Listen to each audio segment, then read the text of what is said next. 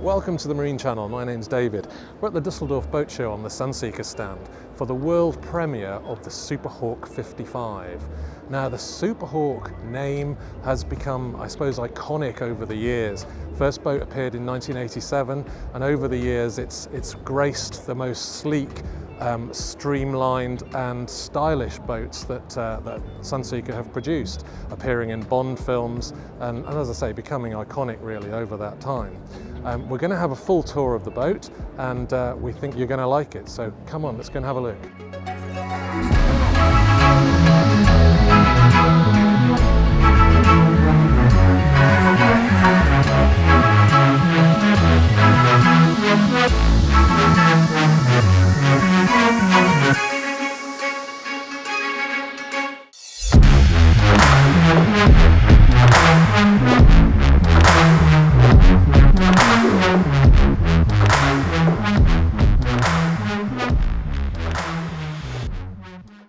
As I hop onto this uh, amazing boat, the first thing that strikes you is the transom. Now, this isn't just a flat piece of fiberglass at the back. It's got some real character and some real um, detail to it. And I think it reminds me of uh, kind of a supercar or something like that. Um, we've got these insets here, which have got bits in, so we've got the shower in there, and obviously the lines go through there. Over this side, we've got similar sort of thing, the passerelle comes out of there. What we've also got the back here is a little hatch that lifts up, well not a little hatch. Um, this aft part of the sun pad lifts up and provides storage, as you can see, for a couple of Seabobs at the moment, or whatever else you'd want to store in there. Now, this is a high-low platform, and it's not just any normal high-low platform, because the platform goes down, but it actually goes down from here. So this whole section goes down, and these become the lower steps. It's a really cool mechanism, and certainly something very, very different. Um, so let's go up on board and have a look. So the first thing we've got is this huge sun pad, which is obviously lifted at the moment to, to get into there, but that would be flat normally. And obviously here we've got the um, raised headrest. So if you're using a sun pad, these drop down obviously and become seating. Now the seating area here is something probably the most flexible seating I think I've seen in a long time. So we've got that side, which is either seating or the sun pad. We've got an amazing table here, which nice sized drinks table, but it actually swivels around there and then unfolds to make a massive dining table. I'll just swivel that back. And the next clever bit is these seats out here, which at the moment they're kind of sociable, just lounging around seats. But if I pull this pin out here, they actually slide in and make this brilliant, huge enclosed dining space. That back. You can lock those in various positions. Also behind here, plenty of storage, and this, the other side does exactly the same. Over here, great size wet bar, really large sink there, nice griddle under there.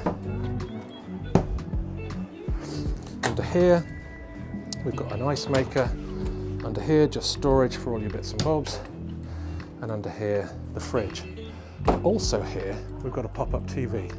TV pops up here. The, out, the living space on this boat really is just all outdoor. Really great feel to it. Let's go to the helm because this is a really special area. So you'll notice that the helm is centrally mounted. It's not on one side, bang slap in the middle. Two seats either side, so quite sociable, and a fabulous view out the front two massive screens with a remote for those screens, got all the engine controls, and this has IPS 950s, by the way, give it a top speed of around 37, 38 knots.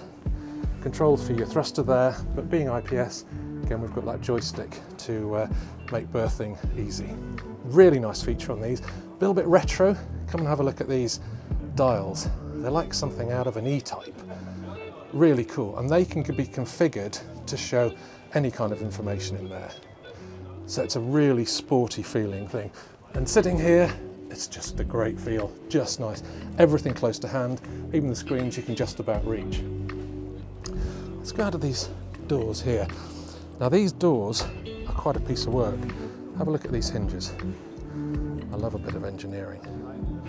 So they'll close up but give you access to the side. There's no deck going back there, which obviously makes the cockpit a little bit wider. But as we come up here, we've got really wide, safe decks to reveal this kind of seating area here. So you've got, two, you know, if you want to use it as sort of two bench seats, then there's that. But what this does do, party trick, is this whole area slides back to here and becomes one massive sun pad. So let's go forward, just quickly look at the bow. Two pretty chunky cleats up there. Love this inset lighting, part of the style. Really nice locker down there where you've got your windlass, chain locker there. And we've got a hatch into the fore cabin there. So just a, a fabulous socialising space. Right, let's go back and have a look at the interior of the boat. So we come down on a turned staircase into what is the main kind of living area, I guess, of this boat. And what you suddenly notice is all this glass. So we've got the usual hull windows, we've got the windows in the superstructure, but if we just look up here, we've got this massive glazed area above with this really funky, that looks like a Union Jack to me, um, lighting, which is just so stylish and so cool. On this side, we've got a massive sofa.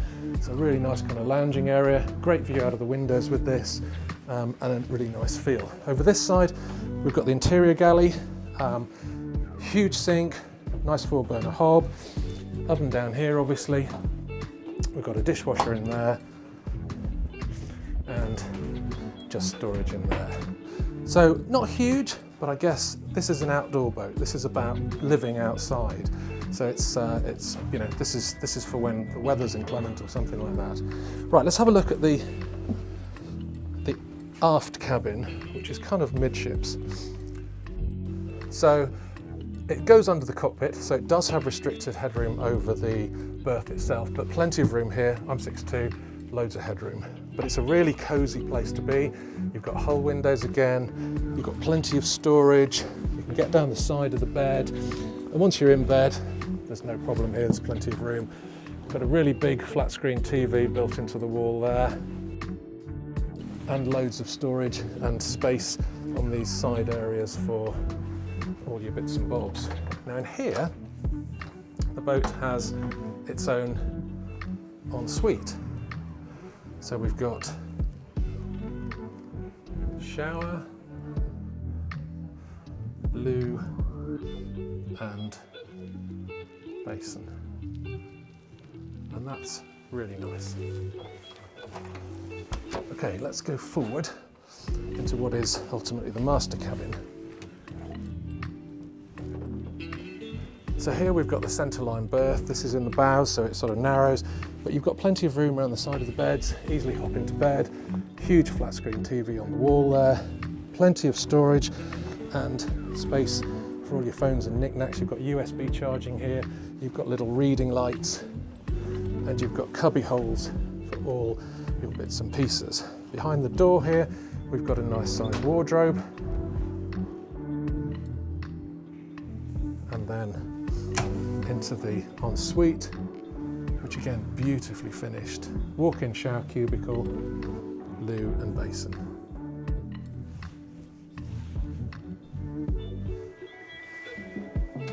So that's it. This boat um, has just been launched here, as we said earlier. It's, a, it's the world premiere. The price is 1.395 million plus VAT. That's the starting price. Things like the hardtop, as we see here, is an extra, and various other bits and bobs. So that will ramp the price up. But that's not bad value. And this is a real character boat. It's an iconic boat with that name. And I think it's, it's got a really, it's, it's like a sports car, if you like. You know, it could be for a 55 foot boat, it could have more accommodation, of course, but this is, this is a sports boat. It's not a, you know, a, a big family cruiser. People buy it will obviously be looking for a different type of usage. We hope you've enjoyed it. We love this boat. It's really cool. I think it's a bit like an E-Type. Um, and uh, if you have enjoyed it, please do subscribe to the channel. We've got lots more really cool boats to bring you. Um, do press that little bell button so we can let you know of anything else that comes up. Thanks very much for watching.